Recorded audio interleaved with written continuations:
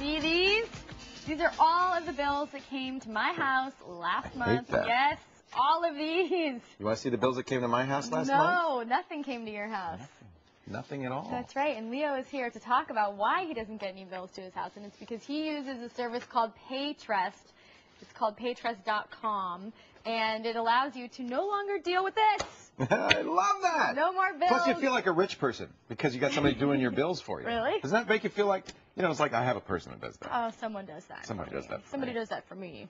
Yeah, well, I'm going to show you at home how you can experience the same feeling of joy. You go to paytrust.com and you can read all the information here. So if you miss something, make sure you read all the details because it is a huge thing that you're dealing with. You really have to trust that this company is Right. going to pay your bills. and you have to pay them too. It's 15 bucks a month. It's not you- free. yeah, you have to pay them. Let's talk about pricing. You go to paytrust.com and let's talk about pricing here. We see that there's a couple different plans that you can choose from. 13 bucks a month. Okay. So um, That's what I do, the flat fee. Yeah. Yeah. So you don't have to pay for every transaction. Well, I have at least 30 transactions. You do? Oh, yeah. Whoa, why Oh, you- yeah. oh, so many Lots of bills. Lots of bills. Are you in the mafia or something?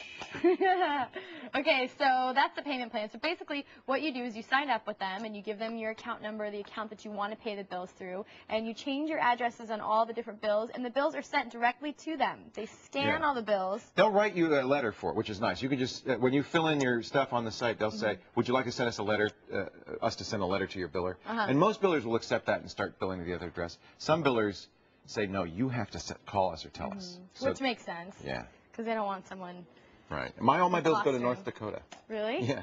Interesting. So what about when you want to sign up for a credit card or something like that? Well, and that's and you're right. That's another issue because a lot of times when you buy something with a credit card, they say, "Is this what's your address?" And unless you want to give them have everything shipped to South Dakota, Right. you have to Oh, right. either call the credit card number Right. and tell them I have two addresses. Uh-huh. Often that expires, or I, this is what I do: I keep one credit card in my home address that the bill that. still comes to me. all right. And uh, actually, I use one that has online billing, so I still don't get a bill. Cool. Yeah. That's cool. Yeah. yeah there are a bunch of differences between this and online billing, and all of those are on the website, so you got to check those Yeah. out. The biggest difference is you don't get these. Right. Online billing, you tend to get the bills, and it's your responsibility to figure out exactly. when to pay them. Right, and this also gives you notifications, and allows you to approve certain payments and Well, that's things nice like thing. that. I Right. can just say, whenever my mortgage comes, pay it, because I have to pay that. Right. You know? Right. So just pay it automatically. Right. You can also say, if a bill is under a certain amount, pay it. And if it's over a certain amount, I want to know about it. Right. Things or like just that. pay the minimum balance. Exactly, like that. yeah. So cool. So this is This what is an actual like. bill. This is what your bill details are going to look like, and We'll um, scan it in, so it looks just like the bill you get. Exactly like the bill. This is not Leo's account, so don't get too excited. I do not live in Princeton.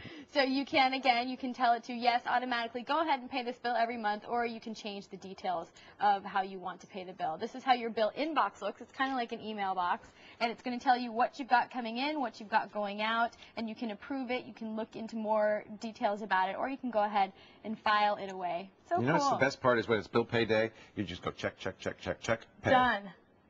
So nice. And another thing that I love about this is you can pay people that don't accept online payment services. Like I can pay Leo. Right. I can adju- make it so that I want to send you a payment for 20 bucks. They will go ahead, cut a check, send it to you, and we're done. I think that's one thing people don't, uh, uh, kind of one of the dirty little secrets of online, of all kinds of online bill paying, is that in most cases, whether your bank's doing it or PayTrust, they're actually printing a check, Right. putting it in an envelope, putting a stamp on it, and mailing it. That's we so aren't to the stage yet where people accept electronic funds transfers. Right. There are a few, there. a few, yeah, a few of my uh, billers will in fact. It'll go automatically, and that's pretty cool because Mm-hmm. then it's instantaneous. The other thing I like about PayTrust is, and they just changed this, they don't debit your account until the check is cashed. Mm. So you, a lot of times the bank will immediately debit your account, Mm-hmm. Right. uh, even though there'll be another three or four days before the bill arrives at Uh-huh. the biller's address. Right. That's cool. Yeah. I love it. And then what you can do is um, ask at the end of the year that you receive a CD, a CD-ROM that's going to have all of your bills scanned into it and tell you the status and everything that you paid. So tax time must be so much easier It's great. I do that every year. I get the CD. Plus, you know, then you have a record instead of having a shoeboxes full of old bills. I got them all. it's a little harder to search through them and that kind of thing. But you can also, as you can see, you can also see an archive of previous payments and, and take it right off the screen now. Right. It's awesome. PayTrust. Yeah. Do you know anything else like it?